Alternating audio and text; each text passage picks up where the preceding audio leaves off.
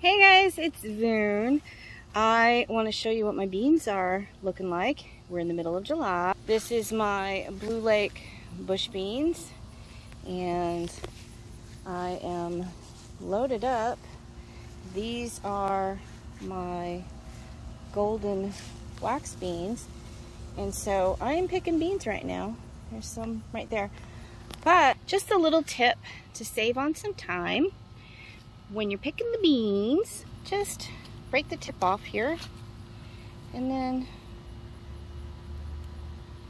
just kind of snip them as you go along. That way when you go to do the, the preserving process, you have less work to do.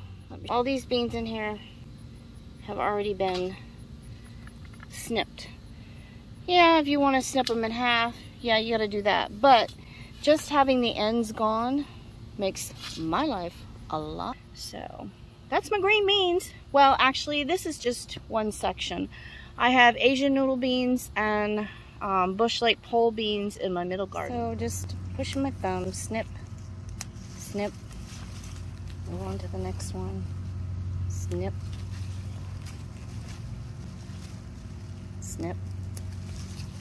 I know you guys know how to pick beans, but just saves you a little time when you get to the second processing. Just snip them off with your thumb. Easy. So I have a little friend here while I am picking beans. Imagine that. Don't so I'm not sure how many pounds this is, but it sure is a lot. So I'll be canning up some of these bad boys today. Looks beautiful. So here is um, part of my front side garden here. This is one of my deeper beds, which is next to my corn.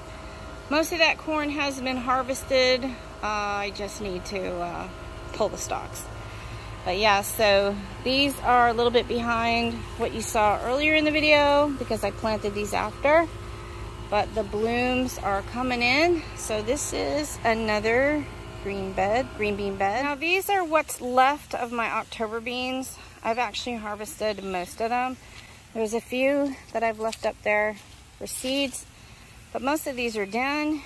And over here are what's left of my Asian noodle beans. I have harvested most of them. There's a few stragglers left. One I left for seed, but yeah, most of these are all done. Same with here. There's a few right here but most of them have been harvested already. So these are almost done.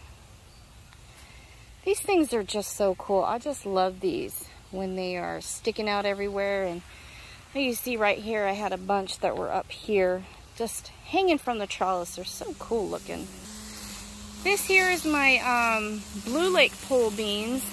So there's still lots of blooms happening on this bed.